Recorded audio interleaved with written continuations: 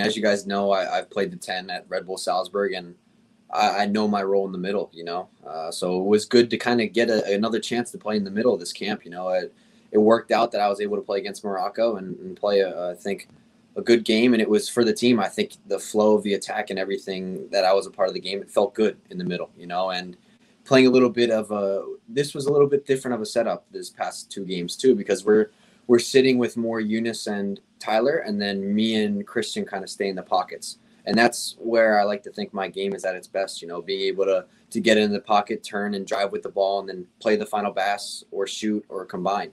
You know, but safe to say that I do really like playing the eight and it's something that I see myself playing in the future and I think I can do this this box to box midfield.